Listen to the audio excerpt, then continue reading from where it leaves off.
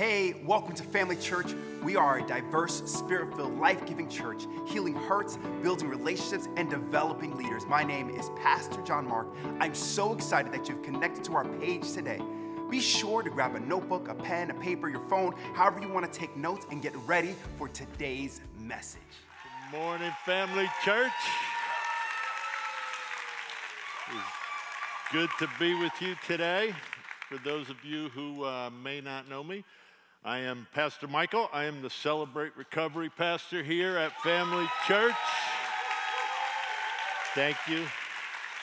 Thank you for that warm welcome. You know, I, I, I consider this just such a privilege and an honor to be able to uh, be with you all this morning uh, as we continue with this series we call Celebrate Life.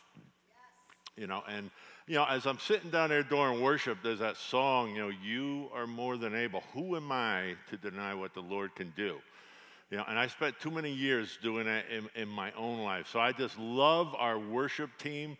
Uh, Pastor Chris does such a great job. Um, you know, they really just helped me get into that position and that posture to receive everything that God has for me today. You know, so and I'll tell you, it, it wasn't always like that for me. Um, the very first time I attended service here, um, Pastor Mike's mom, Miss Lynn, preached that night. It was a Saturday night. Um, so when she was here for Mother's Day a couple months back and she, she preached, it, it brought back a very special feeling and a very special emotion for me because it, it, was, it brought up memories for me that were very positive. Um, you know, and not, not because of her message, you know, in particular. Um, Miss Lynn, if you're watching, sorry, I don't remember what your message was about. Um, but, you know, it was more, um, it was special because it was the beginning of my serious walk with God and the journey of my recovery. Um, you know, and I didn't really connect with the worship team back then, uh, be honest with you. I, you know, I came in here, you know, and this was kind of my posture. I was sitting over in here somewhere, standing there like this, looking around at all the lights, the smoke machine, and the weird curved ceiling. I was like, what is that all about? I don't know what's going on. This place is a little over the top, I think. I don't know about this. This doesn't seem like church. So you know, in fact, after that first service, my wife continually always invited me uh, to church. I said, Yeah, you know, I think I, will go again. Um, but can't we go after the music part?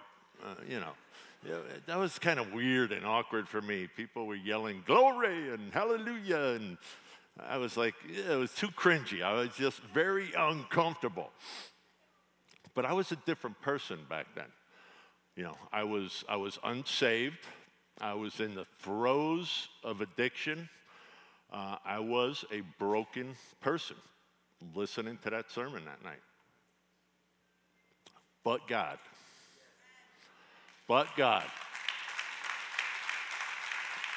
You know, the, the Bible tells us in Jeremiah chapter 29, verse 11, it says, For I know the plans I have for you, declares the Lord plans to prosper you and not to harm you, plans to give you hope and a future. So let me pray. So, Heavenly Father, as we come to you in the name of Jesus, thank you for this opportunity to share your word and come together as a family. I pray these words are seeds that will fall on good ground. So give us those ears to hear, the eyes to see the plans that you have for each and every one of us. In Jesus' name, amen. Amen. amen. You know, so as a Celebrate Pastor, you know, Celebrate Recovery pastor here, you know, I get to connect with a lot of people, many people, uh, members of our church, um, members of other churches, um, some, some people with no church connection at all. You know, but and my connection usually starts and deals with some aspect of pain in their lives. You know, whatever it may be.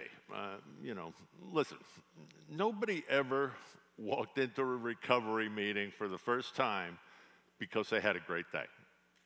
It, it just doesn't happen. You know, it's like, you know, I don't have any dandelions on my lawn. Little Billy got straight C's in school today, and my car is getting 38 miles to the gallon. I think I'll go to a recovery meeting tonight. Nobody ever said that. Their motivation to summon up the courage to come, and, it is a very courageous act, is centered around two ideas. One, they have a hurt, a hang up, a habit uh, causing pain in their lives. And two, they're seeking some kind of answers. Many don't even know what they're looking for, but they're just seeking something. Some are dealing with addictions, you know, to a lot of things. You know, not necessarily drugs and alcohol either. You know, uh, nationally and statistically, only one in three people attend Celebrate Recovery are there for a chemical addiction. You know, issues come in, in many forms. You know, they come in the form of financial issues, sex, food. You know, when I say food, I'm particularly sugar. 15 years doing this, I never seen anybody battling a spinach addiction yet. you know, but codependency is another one. Anger is another one. Pandemics, as of four years ago. You thought you were immune from the problems of this world. I think the COVID 19 proved that uh, completely wrong. You know, so your hurts, your hangups, your habits. You know, these issues I just mentioned, they're, they're just the habits. You know, habits are simply symptoms of underlying problems in your life. They all start as hurts, uh, many times at a very young age. You know, the hurt grows into a hangup, and then as we age, we all reach for or develop some kind of coping mechanism to deal with the internal pain, and that is the habit. You know, one of my earliest significant childhood memories uh, centered around a hurt. I was maybe three or four years old, you know, when I experienced that loss of innocence and realized that there are people in this world that I just can't trust. The very first one, you know, that hurt developed into a hangup, and I looked for an answer. You know, a habit for me, that copinism um, turned into drugs and alcohol. But I do, I do not focus on the habit anymore. You know, um, anybody can quit drinking, you know, for a time. You know, staying quit, that is the trick. You know, I learned I had to figure out why I started and why it developed into such a dependency in my life. You know, when I first met, um, first came here and I first heard Miss Lynn preach, it was way back at the end of 2007. I was a hot mess, folks. Let me tell you, I'm a, you know, I had very few sober moments. You know, my marriage was falling apart. My family life was struggling. I had no uh, personal connection to God. I was old and fat not the svelte and youthful person you see standing before you today. Well, maybe not that svelte, but we're working on it. I had goals though back then. I had goals. You know what my goals looked like at the end of 2007? If at the end of the day, when I laid my head on the pillow and I was still breathing and I was not in jail, I had a pretty good day. That was the bar. If I didn't do anything stupid enough that day to hurt myself or to hurt somebody else, I was relatively content at the end of the day. But God, but God, you know, He knew, God knew the plans He had for me even back then and before I ever existed. You know, this scripture I want to look at comes from the book of Jeremiah also, and it's in chapter 1, verse 5. It says, before I formed you in the womb, I knew you. Before you were born, I set you apart. Now, Jeremiah, Jeremiah lived in difficult times. You know, he was a priest, and as such, he preached from the time of the reign of Judah's last good king, to sometime after the fall of Jerusalem at the hands of the Babylonians. Difficult times, right? Despite his efforts, Jeremiah's preaching did not stop the nation's slide into exile. Good people driven from their homes and into exile. So I want to look at that scripture again, but I want to start in, in verse 4 this time. In Jeremiah, it says, Now the word of the Lord came to me, saying, So this is, you know, Jeremiah knows he's getting a word from God.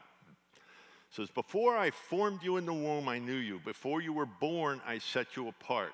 I appointed you as a prophet to the nations. I appointed you.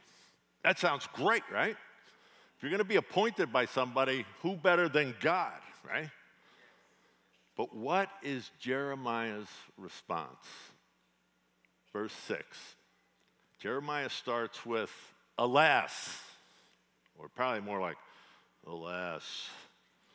You know, if anybody starts a response like that with the word alas, you can probably bet what follows is not going to be very life giving and positive. You know, it's like starting a sentence with, you know, no offense, but I'm probably going to say something you can choose to be offended about. So Jeremiah says, Alas, sovereign Lord, I do not know how to speak. I am too young. But the Lord said to me, Do not say, I am too young. You must go to everyone I send you to and say whatever I command you. Do not be afraid of them, for I am with you and will rescue you, declares the Lord. So even though Jeremiah had experience preaching, right? He was a priest, he knew the written word of God, he spoke in front of crowds before, still he came up with an excuse not to do it immediately. Alas, I'm too young, I don't know how to speak. Really?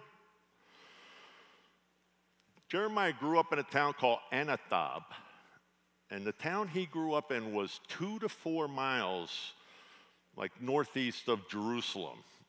So he grew up in the capital city and its temple. Everything that was happening, Christianity wise, was happening around that area.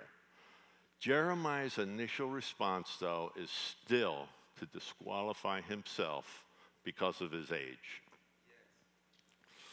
Have, any, have we ever done this? I know I have. We are presented with an opportunity, uh, and the first thing we think of or, or to do is come up with a reason why it's not going to work. Why is it going to fail?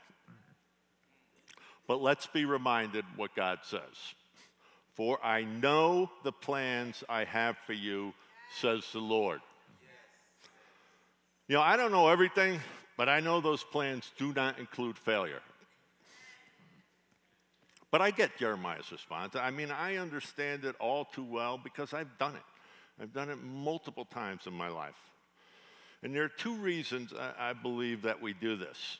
You know, I believe that every single issue, every wrong belief we have, every single doubt in ourselves, will fall into one of two categories, and that is the failures from our past and the fears for our future.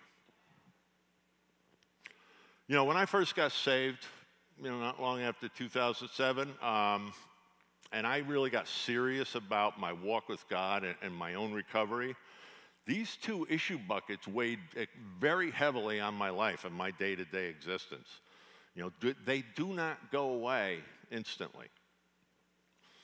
You know, early on in my recovery, I started to, you know, see some real improvement in my life. I was attending Celebrate Recovery at another church. We didn't have it here then. You know, and I was at an event with Pastor Joe, Pastor Joe and Miss Lynn, Pastor Mike's parents. Um, and me and Pastor Joe were standing there chatting about motorcycles. We were talking about whatever. And I don't know if you ever met Pastor Joe, you know, uh, but he is the biggest man I've, I've ever met spiritually. And no offense, Pastor Joe, but he only comes up to about here on me, right? You know, I'm 6'2", so, he, but he's a, he's a huge spiritual guy in my life. So we're standing there talking, and he says, he smacks me on the arm, says, Hey, Mike, when are you going to start one of those things here? I said, What? Those things? I thought we were talking about motorcycles. What, are we talking about here? He goes, You know, that thing you go to over there at that church. I said, You mean celebrate recovery? He goes, Yeah, yeah, I want you to think about starting one here at this church. We need that here. So, you know, I was standing there, smiling at Pastor Joe, nodding, you know, and everything in my being was screaming, No! Nope, nope, nope, nope. I continue to smile and nod. So I'm thinking, you know, I can't be a, a ministry leader in this thing. You know, I'm unqualified. I'm not qualified to do that. You know, I have, I've made way too many mistakes in my life. I'm like scrambling. What, how do I get out of this conversation? You know, what do I say? I, I, I know. I'll tell them I'm a baby Christian and I don't know the Bible well enough. Or I know I've heard somebody else say this. Let me pray about it, Pastor Joe.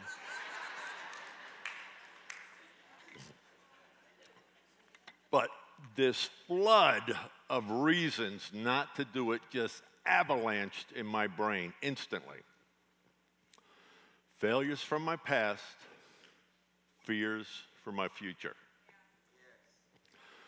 So I continued to nod and smile at Pastor Joe, and I told him, you know, let me let me go home and talk to my wife Sue about it, and uh, you know, I'll, I'll, get back to you, Pastor Joe. You know, of course, I went home and I, you know, if you guys ever met my wife, you know, she's like, I told her about it. She's, oh my God, that's awesome.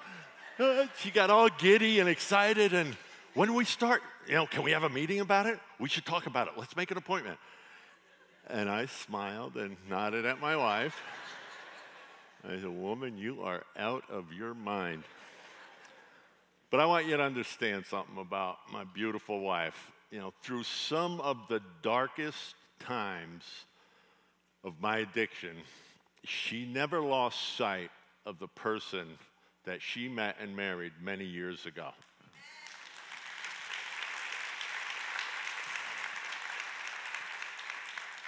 You know, even against the advice of many people at the time that were telling her what to do, she knew I was not that addiction. You know, she knew that underneath that was the person that she met, and I will forever be grateful to her for that.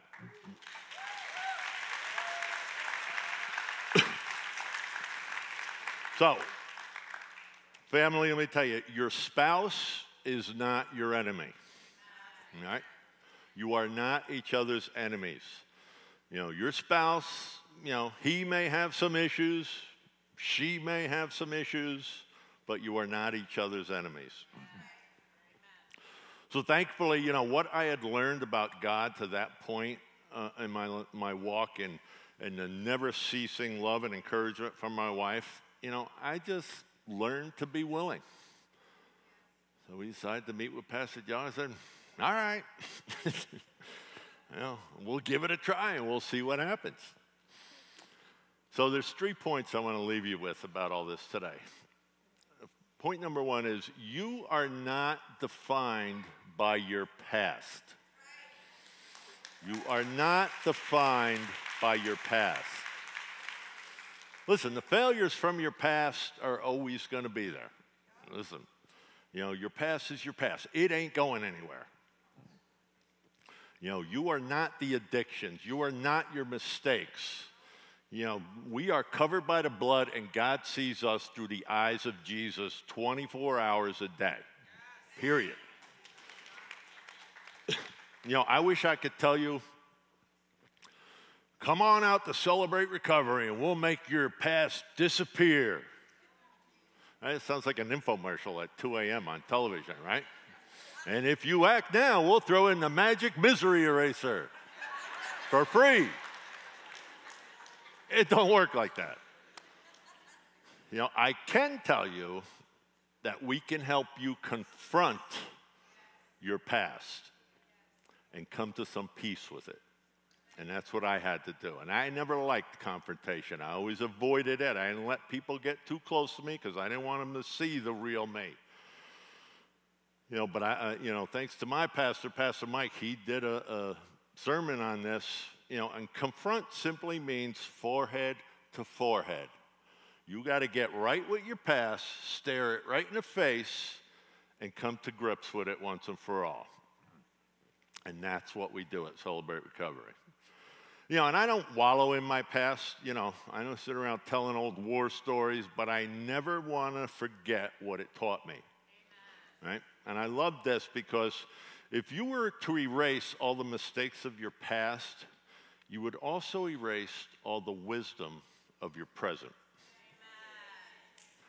Remember the lesson. Remember the lesson, not the disappointment. And we all make mistakes, folks. We're not, we're imperfect human beings, you know. But when we make a mistake the first time, it's a mistake. You do the same thing again, the second time, it's a choice. It's no longer a mistake. Ouch. Point number two fearing the future is a waste of precious time. Yep. Another word for that is worry, right? And we all do it. We all write these stories in our heads that, you know, about what we think is going to happen. You know, people with phobias do it a lot. You know, people, you know, if you have a fear of flying, media stories will tell you if I get on a plane, I'm going to die. But statistics tell us that there is a commercial plane crash every 16.7 million flights. That means for every 1 million flights, 0.06 planes crash. You know, that's like a chip of paint coming off the wing or something. I don't know. But those are pretty good odds, in my, in my opinion. So I tell people all the time look, if you're worrying about what might happen because the story you wrote to yourself there's a simple solution stop writing those stories. You're welcome. You know, the day, last day I got arrested was one of the best days of my life. Wasn't such a great day that day. But, you know, so maybe what you think might happen happens. You might be right. Maybe there is some consequences that God knows we need to endure so that we can grow. They're called growing pains for a reason. You know, maybe your worrying and intervening is getting in the way of that. You know, the day I got arrested, like I said, it was the it was one of the things that jolted me into reality. I said, like, this ain't normal. Your life, you, you shouldn't be living like this. You got to do something and make a change. So when I look back on that, you know, I, I think about it as a good day today. Plus, Jesus told us in Matthew 6:34, "Therefore do not worry about tomorrow, for tomorrow will worry about itself." Each day has enough trouble of its own. So, let's worry about today, folks, and we'll worry about tomorrow when it when it's the present and not the future. My third and final point on all this is the only time you can make effective change in your life is in the present. You know, Jeremiah really had to trust God's word when it came to him. You know, in 1 8, God's word says, Jeremiah chapter 1, verse 8, do not be afraid of them, for I am with you to deliver you, declares the Lord. Behold, I have put words in your mouth. So that whole I don't know how to speak thing, that just went out the window. Everything you say is said in the present. Everything you ever have said was said in the present, and everything you ever will say will be said in the present. So your words are very important. You know, when I when I stopped being fearful about what I could not do as a Celebrate Recovery ministry leader, I started to simply become willing to be willing. All right, let's give it a try. And I trust that now. I really do trust that. I completely trust that God has my back, that He always has a plan and a purpose for my life, and that that plan is good. Yeah. So, if you're faced with some of this stuff, with these past failures, these future fears, you know, and you're disqualifying yourself from being used by God, I want to encourage you to stop believing those lies. I believe we can all be used by God to advance His kingdom, and all it takes is a little willingness. You know, God used what, what this world would call, you know, some kind of screwed up people in this world uh, would label them as that, unqualified, and He used them to do mighty things that are still being talked about thousands of years later. You know, the Bible is full of those stories of people who look like misfits, but God used them to do incredible things. So don't sell yourself short. Don't sell yourself short. God has a plan and a purpose for you, and it is good. But there is work we need to do. Maybe some changes we need to make in our life. You know, listen, I don't believe, you know, God expects us to stand there leaning on a shovel praying for a hole. You, you pray that prayer to God, and God probably going to say, get up off your butt, put your foot on that shovel, and start digging, right? Get to work. Get to work because you're worth that work. So, my big idea today is it's okay to feel like you're not okay. It's okay to seek help. It's okay to, you know, stop calling yourself one of those people. I'm one of those people, folks. One of the biggest ones. And I got news for you. You're all one of those people. Sorry to break it to you, but you are.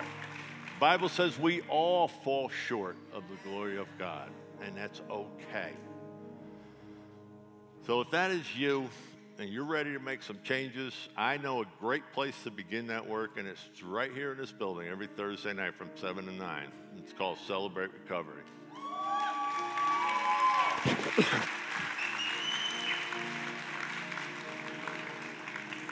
You know, after we step out of our denial, you know, and admit we got a problem. You can't fix something you don't admit is there.